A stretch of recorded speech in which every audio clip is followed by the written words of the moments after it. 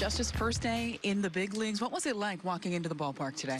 Uh, it was crazy. Um, you know, I've been here before uh, a few times, you know, as a fan. Um, and it's just crazy, you know, putting on the you know, uniform and um, getting to go out on the field for the first time and, um, you know, to actually be a part of it. It's, it's, it's crazy. What's going through your mind as you're putting on the uniform? for one, that it, it doesn't have uh, you know the Rail Riders logo on the front, so that you know that th throws me off a lot. But um, you know the fact that it has the New York Yankees logo on the front, um, you know it's, it's just a dream come true, and um, you know I'm ready to get started. Your name has been mentioned an awful lot, but did you expect that you'd be called up at some point in time this season? Um, honestly, I had no clue. Um, you know when they threw me in the bullpen, I kind of you know, suspected that, you know, I might be able to uh, go up, um, come up in the bullpen, but um, never really had a clue. And, uh, you know, I didn't really want to think about it. I just wanted to go out there and do my best and uh, do whatever my team needed me to do. You mentioned that move to the bullpen. How do you like coming out of the pen? What's been the most challenging for you? Um, I like it. Um, it was a little different at first, uh, just because my whole my whole life I've been a starter. Never um, came out of the bullpen.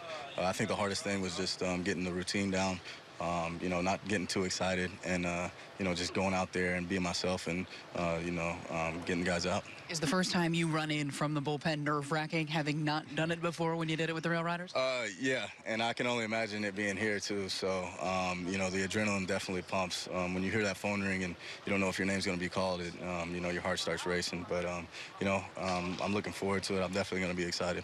How would you evaluate your year as a whole in the minors? Uh, I feel like I did what I needed to do. Um, you know, I had some some personal goals this year, which I wanted to accomplish, and um, obviously the team goal this year was to, you know, win the Governor's Cup. Um, fell a little short this year, but.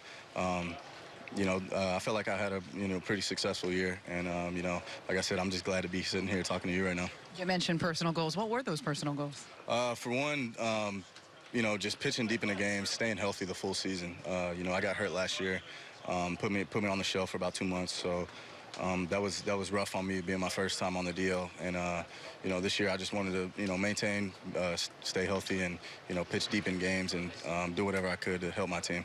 Who called you to tell you that you were heading to New York? Um, Bobby uh, Mitchell, my manager. So. Uh, he uh, called me in after we lost. He gave a speech, you know, told us to keep our heads up and that we had a good year. And then after that, called me in and he said, "You're going to the show." Who was the first person you called thereafter? Uh, think it was my dad, either my dad or my mom. Uh, one of the two. I'm not gonna say who because one of them might get mad at me uh, watching this, but uh, um, you know, definitely called my parents and then followed up by my brother. So you know, they were all excited. What was there any when they did they know why you were calling when you first called? They had no clue. Um, my dad thought I was lying to him. He thought I was just messing with him. So.